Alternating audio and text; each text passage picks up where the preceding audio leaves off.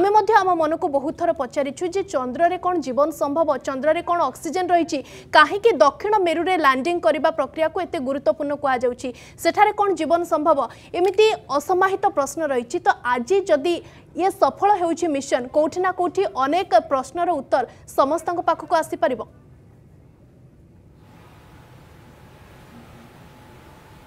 ଦେଖ ନିଶ୍ଚିତ ଭାବେ ସ୍ମୃତି ଲଗ୍ନା ମୋ ସହିତ କୋପି ଗୁପ୍ତା ଯିଏ ଅଛନ୍ତି ନେହେରୁ ପ୍ଲାନେଟୋରିୟମର ସିନିୟର ଇଞ୍ଜିନିୟର ତାଙ୍କ ସହିତ ଆଲୋଚନା କରିବା ତା ପୂର୍ବରୁ କ୍ୟାମେରା ପର୍ସନ ଆଦିତ୍ୟଙ୍କୁ କହିବି ଆପଣଙ୍କୁ ଏଠି ଗୋଟେ ପ୍ରୋଜେକ୍ଟ ଲାଗିଛି ପ୍ରୋଜେକ୍ଟର ଚିତ୍ର ଦେଖିବାକୁ ପଡ଼ିବେ ଯେଉଁଠି ଲାଇଭ୍ ଚିତ୍ର ଆସୁଛି ମାତ୍ର ଆଉ ଏକ ଘଣ୍ଟା ଅଠେଇଶ ମିନିଟ୍ ରହିଛି ଯେଉଁଠି ଆପଣ ଦେଖିପାରୁଥିବେ କାଉଣ୍ଟଡାଉନ୍ ଗୋଟେ ପ୍ରକାର ଆରମ୍ଭ ହୋଇଯାଇଛି ଏବଂ ଟଚ୍ଡାଉନ୍ ଗୋଟେ ରହିଛି ଟଚ୍ଡାଉନ୍ ଯେଉଁ ପ୍ରକ୍ରିୟା ରହିଛି ଯେଉଁଟାକି ସ୍ଥଳଭାଗ ସେତେବେଳେ ଛୁଇଁବ ଏକ ଘଣ୍ଟା ସଡ଼ଚାଳିଶ ମିନିଟ୍ ରହିଛି ଏବଂ ଲ୍ୟାଣ୍ଡିଂ ପ୍ରୋସେସ୍ ଆରମ୍ଭ ହୋଇଯିବ ଆଉ ଘଣ୍ଟେ ଅଠେଇଶ मिनट रही तेज ए बात अधिक आलोचना करवा सर जम हम देख रहे हैं डिस्प्ले में time one hour twenty seven minute रह गया और one hour forty six minute रह गया टच डाउन के लिए। आ, क्या बताएँगे सर कितना एक्साइटेड है?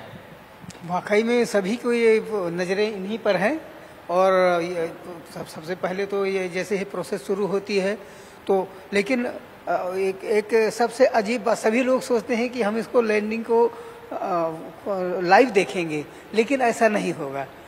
क्योंकि लैंडिंग शुरू होने के बाद में कमांड के बाद देने के बाद लैंडिंग जैसे शुरू होगी अभी तो ये विक्रम इलिप्टिकल आर्बिट में है और हॉरिजेंटल है उसके आर्बिट का हॉरिजेंटल मूव कर रहा है। जब लैंडिंग प्रोसेस शुरू होगी तो ये वर्टिकल आ गया क्योंकि नीचे आएगा।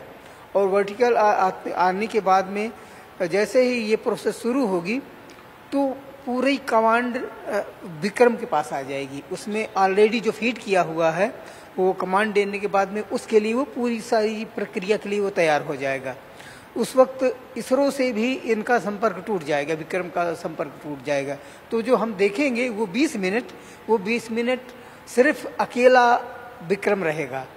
और शुरू में इसकी जो लैंडिंग का स्पीड होगी, नीचे डिसेंडिंग में लैंडिंग के वक्त वो सोलह मीटर पर सेकेंड होगी। और ये प्रोसेस ढाई, साढ़े सात किलोमीटर के की दूरी को वो तय करेगा। तो ये करीब जो ये, इसके बाद में सेकेंड स्टेज, थर्ड स्टेज अलग अलग उसकी स्पीड कम होती जाएगी। चार सौ मीटर, तीन सौ मीटर और पचास मीटर, डेढ़ सौ मीटर और फिर पचास मीटर।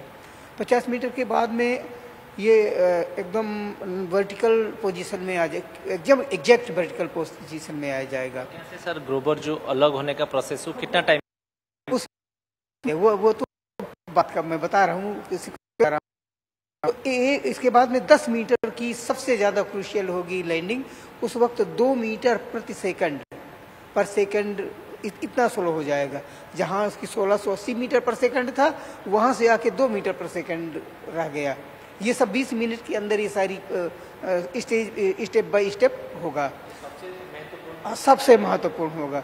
और फिर वो लैंड कर जाएगा। तो ये जिससे ये सॉफ्ट लैंडिंग होगी। इससे पहले अपने हाई इनके हाई रेजोल्यूशन कैमरा से उसकी वो स्कैनिंग करेगा विक्रम।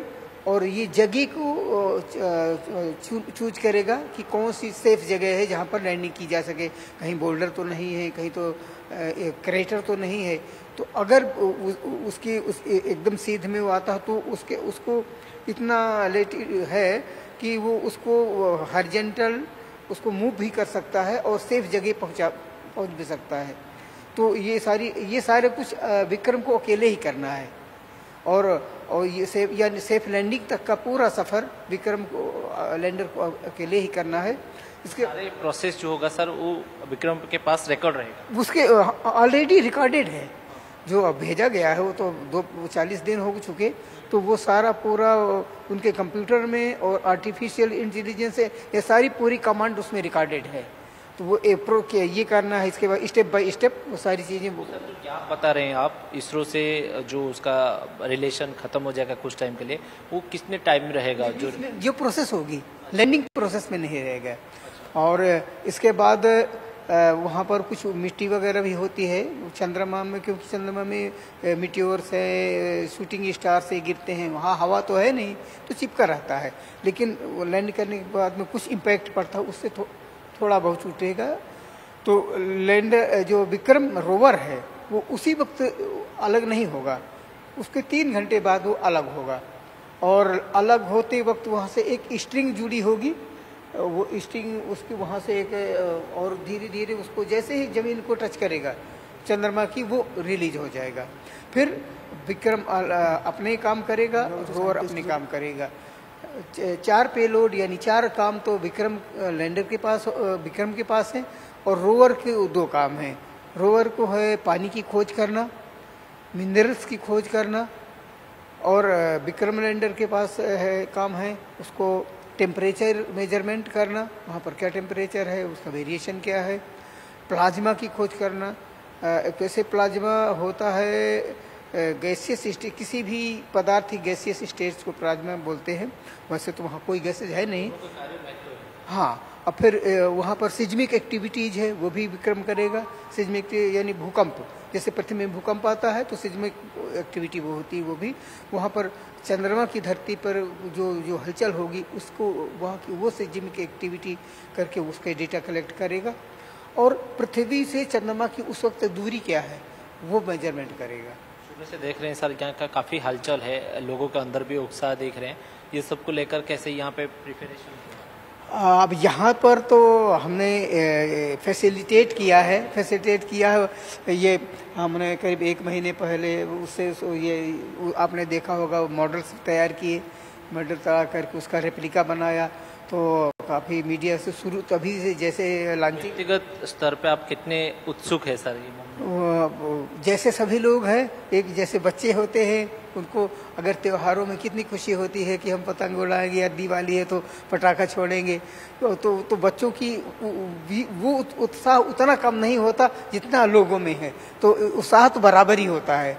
तो वैसा ही सा लोगों में सभी लोगों में है स्कूल के स्टूडेंट्स में है लोगों में भी है और सबसे ज़्यादा तो जो अचीवमेंट जो जिनको, जिन्होंने इतनी मेहनत की है, हमारे इसरो के वैज्ञानिकों ने, उनको, उनके साथ में असम कह सकते हैं।